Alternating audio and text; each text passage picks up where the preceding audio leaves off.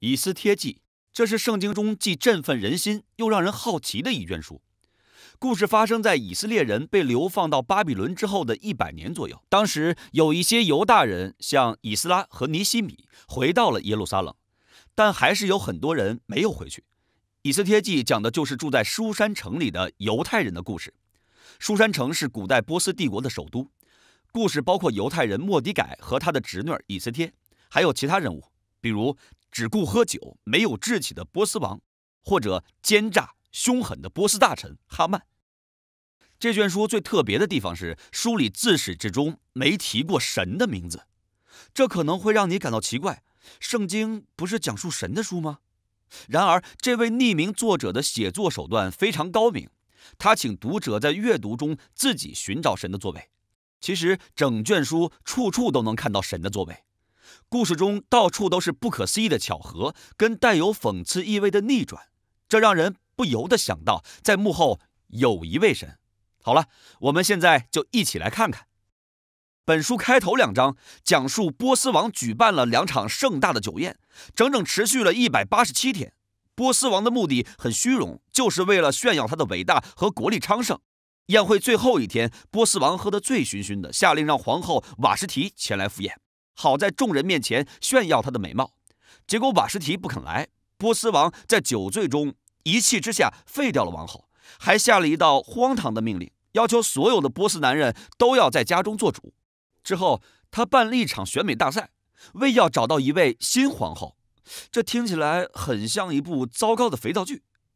正在此时，以斯帖和莫迪改出场了。以斯帖隐瞒了犹大人的身份，并且赢得了选美大赛。波斯王被以斯帖深深的迷住，封她为波斯王后。不久，发生了一件更为奇妙的事儿：莫迪改碰巧听到两名侍卫的阴谋，要暗杀波斯王。莫迪改通知了以斯帖，以斯帖告诉了波斯王。莫迪改因救了波斯王的性命，赢得了王的信任。表面上，以斯帖记从开始就没提神。但发生的所有事儿好像都是出于天意。那么神到底要做什么呢？作者接下来开始介绍哈曼。哈曼不是波斯人，是雅加人。雅加人是古代迦南人的后代。这记在《萨姆尔记上》十五章。国王提拔哈曼做当朝宰相，要求所有人在哈曼面前都要下跪，只有莫迪改不肯照着做，这让哈曼很生气。哈曼发现莫迪改是犹大人。他成功的说服波斯王下令杀死所有的犹大人，并且定下了毁灭犹大民族的日期。哈曼掷骰子，在希伯来语中，骰子被叫做普洱。十一个月之后，也就是亚达月，所有的犹大人都要被消灭。接着，哈曼和王摆设酒宴，一起庆祝这个极其残忍的决定。随后，故事的重点再次转向莫迪改和以斯帖，他们是犹太人的唯一希望了。他们筹划着让以斯帖去向波斯王透露自己的犹太人身份，并且请求王收回自己的命令。可问题是，按照当时的法律规定，没有波斯王亲自下令，任何人都不能到王的面前，否则就是死罪。这个时候，莫迪改说了一句关键的话：他确信，即使以斯帖不肯出头说话，犹大人也必从别处得解脱，蒙拯救。莫迪改还大声地宣告。也许你当上王后就是为了今天这个时刻。于是以斯帖下定决心去见王。他说了一句很精彩的话：“我若死，就死吧。”故事继续发展。我们看到非常讽刺的是，哈曼所有的罪行开始被翻转了。以斯帖邀请王和哈曼出席他办的宴会，在酒宴上，他说自己有两个特别的请求，将在第二天的宴会中透露。哈曼醉醺醺的离开后，在街头看到莫迪改，哈曼勃然大怒，下令竖起一个木架，准备第二天早晨把莫迪改挂在上面。这个时候，莫迪改和犹太人的悲惨命运好像已成定局。可是，忽然之间，故事出现了逆转。当天晚上，波斯王恰好睡不着觉，他叫人念王室历史，做睡前阅读。恰好听到莫迪改曾救他脱离暗杀阴谋的记录，他早已把这件事儿忘得一干二净。第二天，哈曼前来禀报，想杀莫迪改，波斯王却命令哈曼为莫迪改救驾之事公开向他致敬。这一下子，哈曼不得不预备好王室的马匹，带着莫迪改在城中巡游，让百姓都称赞他。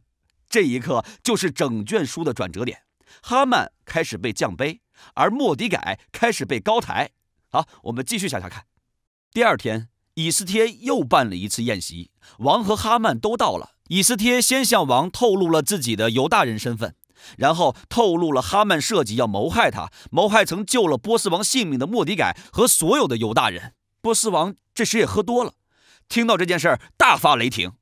这卷书里有好多人醉酒后怒气冲天，他命人把哈曼挂在为莫迪改竖起的木架子上，哈曼就这样死了，死的既讽刺又恐怖。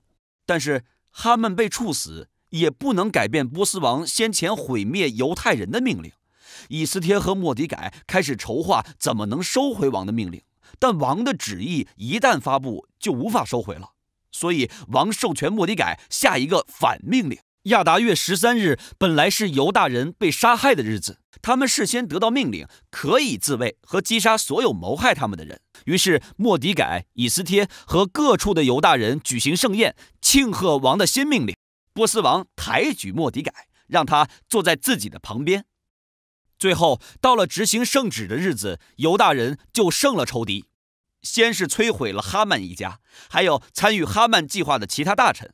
第二天，犹大人获准除灭全国境内所有设计谋害他们的人。犹大人快乐地庆祝，因为他们终于躲过了种族灭绝的危机，得到了拯救。接下来，故事讲到以斯帖和莫迪改下令，每年设立两天为普尔日，用来庆贺犹大人在毁灭中得拯救。普洱日这个名字源于希伯来文“普洱”，就是前面提到过的骰子。故事讲到最后，莫迪改被提拔为宰相。以斯帖记中说，他地位显赫，大有荣耀。犹大人在流亡中兴旺发达。我们不妨关注一下整个事件的设计过程。这篇故事充满了不少讽刺性的逆转时刻。故事的设计就是用情节逆转构成的，连细节都是这样。比如。一波斯王的荣华盛宴及命令和莫迪改的荣华盛宴及命令形成对比。二以斯帖和莫迪改先是拯救了波斯王，最后又拯救了所有的犹大人。三哈曼被提升为宰相，他下令并设宴，这一幕到莫迪改被提升、下令并设宴时就被逆转了。四以斯帖和莫迪改两次策划拯救计划的场景。五以斯帖两次设宴构成了整个故事中最大的逆转结构。六，哈曼被降卑，莫迪改被高升，嚯，堪称完美。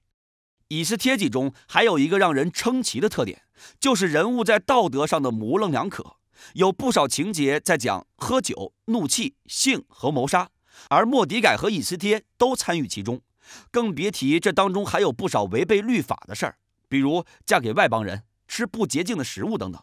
所以作者似乎并没有把莫迪改和以斯帖当作模范。也不认同他们所有的行为，然而身处极度糟糕的情况下，他们却又是信靠和盼望的榜样。以斯帖记让我们想到以下的问题：为什么全篇没有提神？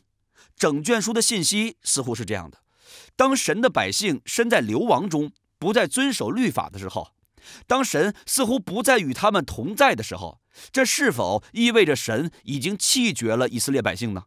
神放弃了自己的许诺了吗？以斯帖记的答案是：神没有。